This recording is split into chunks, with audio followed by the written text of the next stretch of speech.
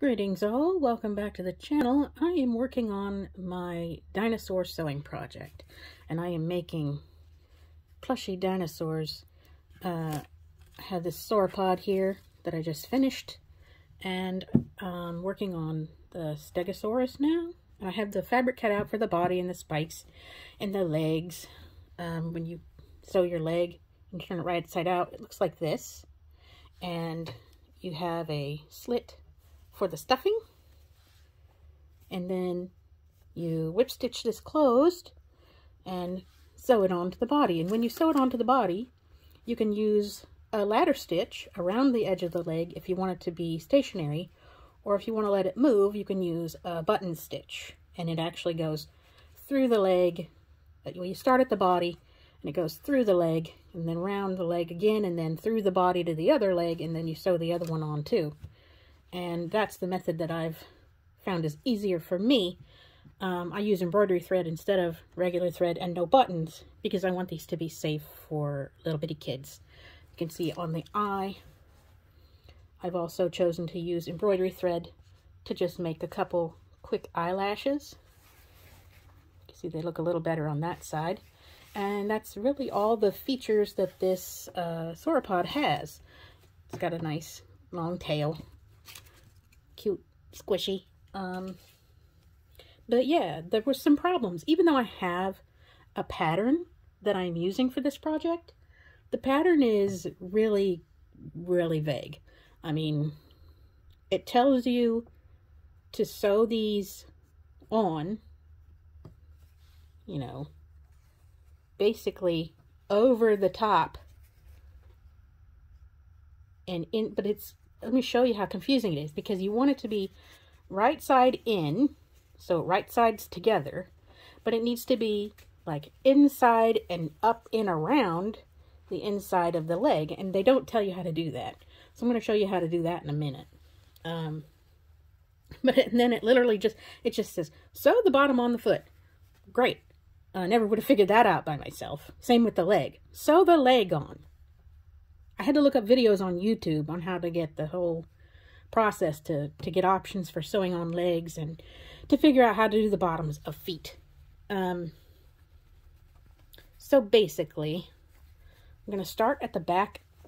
See, I have the foot here, and I have pre-cut the slits for the stuffing, and you do it you notice the leg has a, a like a toe on this side and it's just kind of straighter, straighter on this side.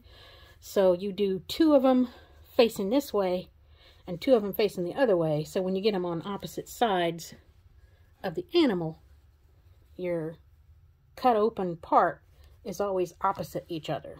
So they'll be on the dinosaur like this with the whip stitching on the inside where it's hidden and you can't see it.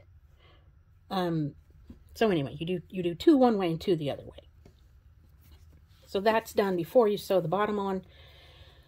And when you're sewing the bottom, I like to start at the back of the foot. So not the slanty part, but the kind of straightish part. And you want right sides together. And I messed up on one foot. I'm not going to redo it, but I've been trying to get the hearts to face forward. So your hearts need to face the front toe and you open up the foot and you line up the fabric. Like here's where the front and back of the circle is. Here's the back seam. You just line it up like that. Like so. And then you shove it under the needle very carefully so it doesn't slip and drop your foot.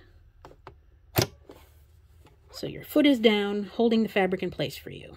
You start like you would any other time. You're going to stitch forward a little bit and then do three or so back stitches. All right, so now, as I go around, I'm going to pull this circle and position it against the edge of the inside of the foot. So right sides will be together and you have to hold your foot open and the front part that's going through the machine flat so that it doesn't gather and doesn't get misaligned. Now the lady I watched a tutorial of this she pinned hers before she sewed it, but I kept sticking myself with the pins. I hate sticking myself with pins, so I just go slower and make sure that I line it up as I go. And it works just fine. So, uh, this might be noisy, but I'm going to show you how to do that.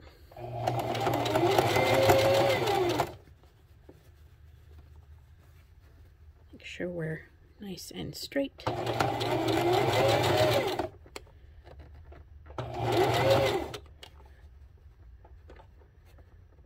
Just going to keep pulling this white fabric to line up with the edge of the red.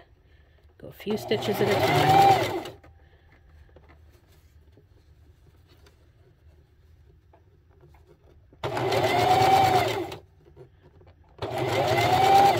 You can see how it pulls out to be nice and flat. You don't want any gathers.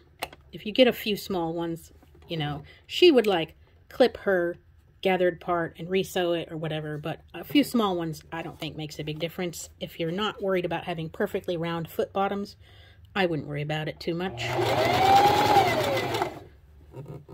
Mainly, I'm just trying to get this on the leg. We're already more than halfway around. Literally takes like a minute if you're doing it you know, without talking and stopping every five seconds.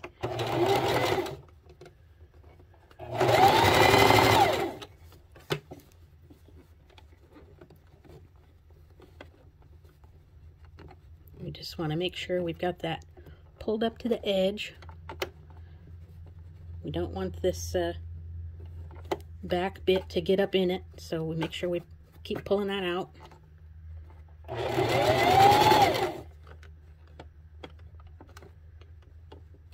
bring this out to the edge.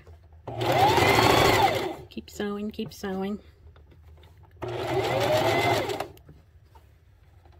Make sure that's pulled out.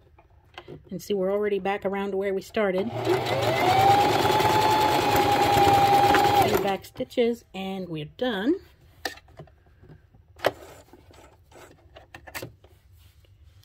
Okay, so trim off the excess threads and check it. And you can see it's sewn. This is a little close to the edge. I think I am going to go back over this seam a little bit. Now that it's mostly in place, I can just do it. I don't have to worry about it too much.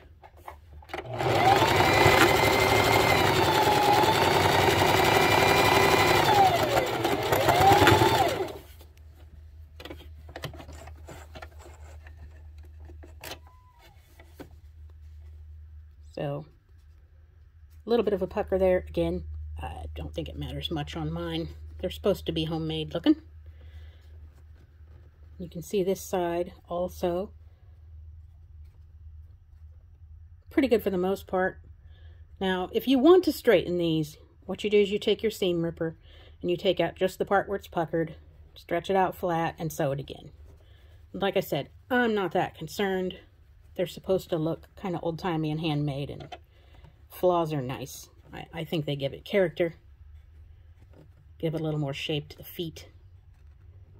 Because, you know, it's not like I'm making toes or anything, so the feet don't have really any shape if you don't allow them to have some mistakes.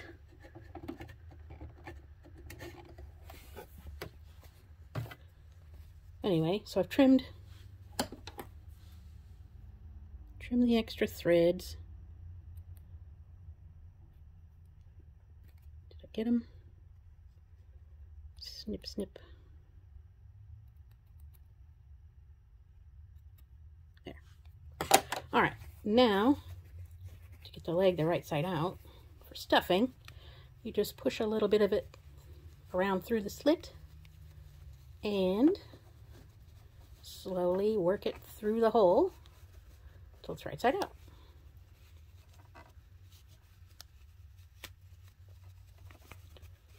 Then when you get it right side out, you can kind of pull the seams straight. And that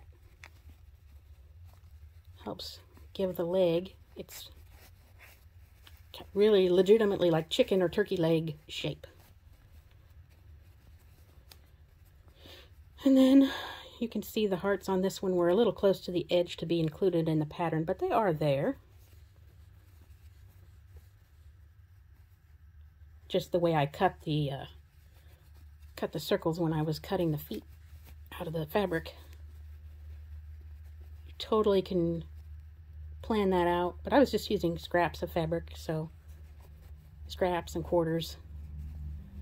If you need a big piece, you can't really move it around on that pattern too much because it's not much fabric to work with. But anyway, so now when I stuff this, I can stuff it and whip stitch this closed and sew it on. And they look like this stuffed. This is the first one that I was working on. And I got one leg on with a ladder stitch and decided I hate it. So I'm going to take the legs off of this other dino and redo them like this one. But anyway, yeah. If you're interested in making dinos yourself, then I would recommend watching a lot of YouTube videos about making plushes. And, uh, you know, don't be afraid to deviate. Like, I used this cheapy Walmart pattern to get my shapes and stuff, but I really found that the pattern was lacking in the instructions department. So I'm going to use my other skills that I've learned to finish them. And then this will be a stego and that will be a sauropod. And this gift will be done. Um, I can only sew about one a day because of the hand sewing. It makes my hands hurt. Arthritis sucks. Don't get old. But uh, yeah, overall they they turn out really cute, and I'm excited to make more. I, I was being very ambitious with my plans. I was gonna make. Let's see, I've got four four great nieces and nephews. I was going to make eight dinos so that each one would have a pair. And I cut them out and I was so excited to get started. And then I started sewing this blue one and I really just felt defeated because the instructions were terrible. You know, sew it on. Okay, great. It doesn't say how. This is a 3D object. I'm trying to sew it onto another 3D object. Uh, I definitely needed some help. But uh, I took a couple days and then uh, once I was feeling better and ready to try again, I, like I said, looked up tutorials from people who make plush, who design plush on YouTube. And uh, there's several other people making videos that are way better than this one. But it's important, like, this was an important step to me to learn how to do, is to sew the frickin' bottom on the foot. Because the pattern just sucks. But anyway, um, basic shapes. Don't get discouraged, because uh, it is kind of fun once you get it going. And I'm excited about this one. It's going to be pretty. I guess that's it for now. Um, I'm not going to edit this. I'm just going to dump it up there because why not? And uh, I'll try to post the finished product on my Instagram, DKing Studios, so you can see what the finished product looks like. And until then, I guess, uh, happy sewing.